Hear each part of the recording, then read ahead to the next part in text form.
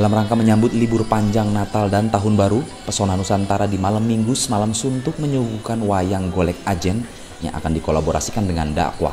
Acara ini diadakan di lapangan terbuka Kecamatan Lewi Munding, Majalengka, Jawa Barat. Sebelum menyaksikan pagelaran wayang, para penonton yang hadir terlebih dahulu disuguhkan oleh tari Pesona Nusantara.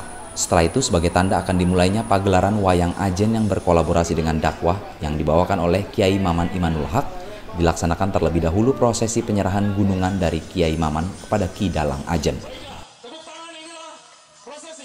Ya, poinnya dalam pengembangan pariwisata banyak yang bisa dilakukan, termasuk strategi yang ditetapkan ya.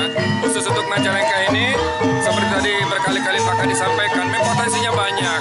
Dan komitmen dari pemimpin tertinggi, Pak Bupati, jajarannya, dan semua itu sangat sudah dirasakan uh, pengembangannya pariwisata di Majalengka ya. Jadi dengan kegiatan seperti hiburan event, baik atraksi-atraksi yang berkualitas, wayang ajen, kemudian aktivitas-aktivitas kepariwisata yang lain sangat memungkinkan untuk membangun kepariwisataan di Majalengka.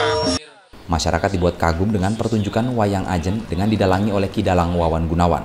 Penonton yang menyaksikan pagelaran tersebut tidak habis-habisnya dibuat terpingkal-pingkal dengan gaya banyolan yang disuguhkan wayang.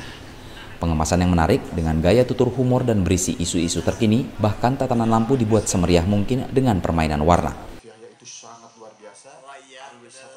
Ini eh, dengan adanya pertunjukan wayang ini adalah sebagai striker ya, hmm. sebagai pemicu untuk eh, semoga pertunjukan ini menginspirasi. Hmm. Paling tidak eh, grup-grup kesenian yang ada di Majalengka ini punya kesadaran untuk berkreatif kreativitas. Jadi kesadaran untuk kreativitas, kesadaran untuk membangun sesuatu yang baru. Jadi ada inovasi-inovasi. Jadi eh, banyak tradisi-tradisi di Majalengka, seni-seni tradisi yang eh, terkadang eh, hanya mengandalkan tradisinya.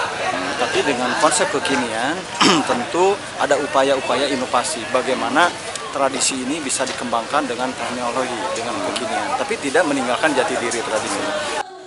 Dari Majalengka, Jawa Barat, Edward Ruspendi, Tribrata TV, salam Tribrata.